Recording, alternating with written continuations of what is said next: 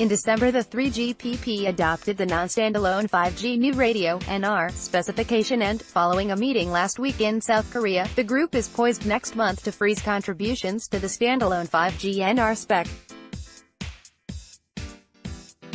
In a recent session at 5G New Horizons Wireless Symposium in Austin, Texas, Peter Linder, head of 5G marketing for Ericsson, discussed the major changes in the core network that will come with the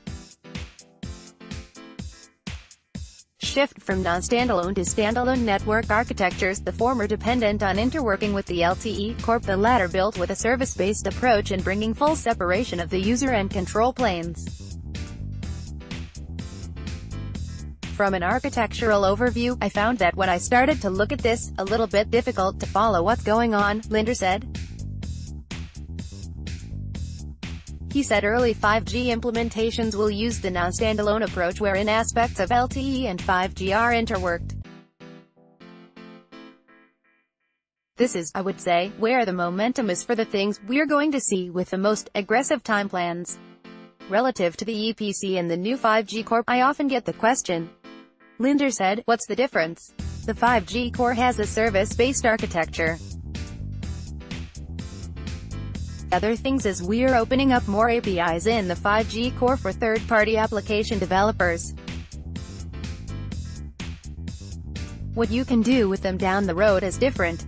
He noted that early 5G plans center around delivering the enhanced mobile broadband use case using fixed wireless access.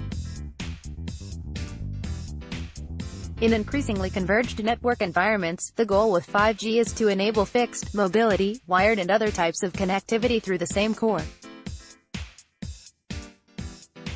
As we start mixing just mobile and fixed wireless traffic, fixed wireless subscribers perhaps consuming 100 times as much traffic as a mobile subscriber, so it'd only take 1 million fixed wireless subscribers to double the traffic in a mobile network for 100 million mobile users.